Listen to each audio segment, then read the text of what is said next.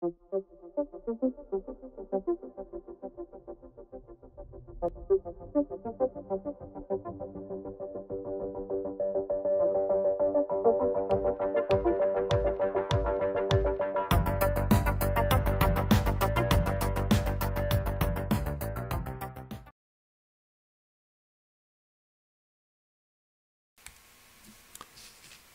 All right, so we're now going to look at the last geometric shape for change in boundary conditions with transient uh, conduction. And so we're looking at convective boundary conditions where we're changing them. Uh, and this, we're going to look at a sphere in this segment. Okay, so geometry of the sphere.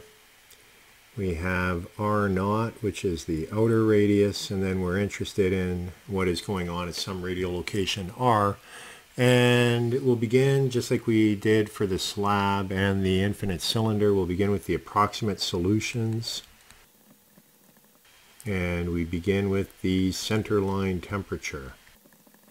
So here we're evaluating theta naught star, which is theta naught divided by theta i, and those are defined as being the centerline temperature minus the free stream convective environment, and then Ti, our initial temperature minus the free stream convective environment temperature.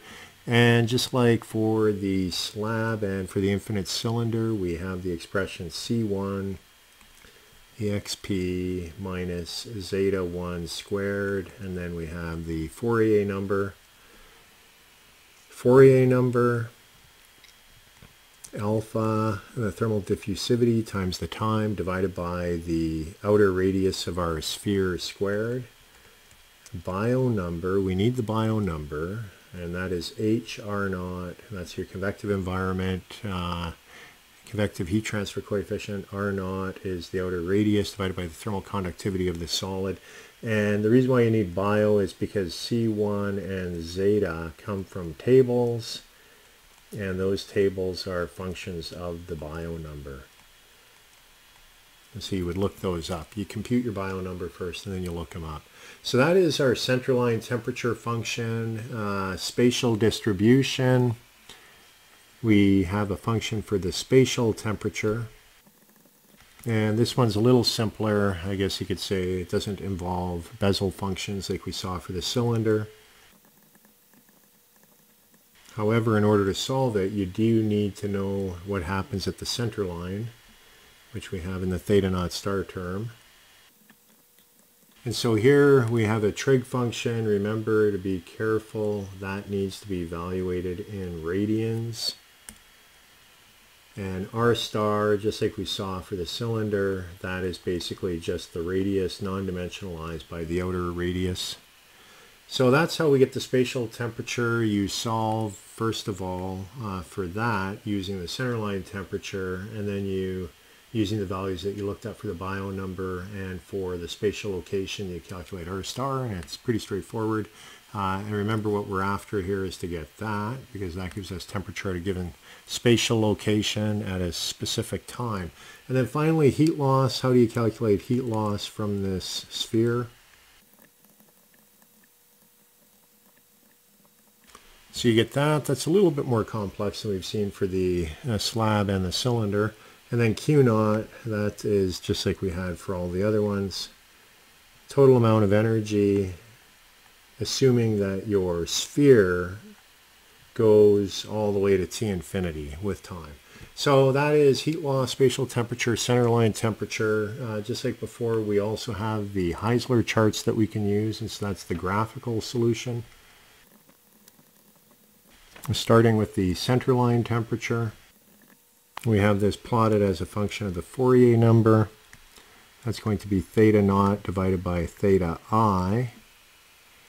And here we're going to have these curves and they are functions of 1 over the Biot number. Spatial distribution. You have to determine what goes on at the center line first before you can get to this one. Because you'll notice theta naught is in there and that's what you're getting. So this theta naught that you determine here goes there. That's what's going on. Uh, and this is as a function of 1 over the Biot number. And we have a number of different curves that change depending upon the radial location that we're interested in. And so that would be R over R naught. That's our R star value. And then finally, heat loss, we have curves for that. And those are going to be Q over Q naught. Fourier Biot squared, the Biot number, and then we have this here. And that's a function of the Biot number increasing in that direction. So those are the Heisler charts. We will be looking at those in the next lecture because we work an example problem. We won't look at the heat loss one, but we'll look at the central line and the spatial Heisler charts. So anyways, those are the different techniques for calculating uh, transient heat conduction in an infinite slab uh, in a infinite cylinder and in a sphere when you change the external convective heat transfer uh, boundary conditions. So in the next lecture we'll go on and, and we're going to use uh, one example but we're going to work it twice. Once we'll use the approximate solution and then in the second segment we'll use the Heisler charts and we'll compare them and see how well they compare to one another. So that is where we're going with transient conduction.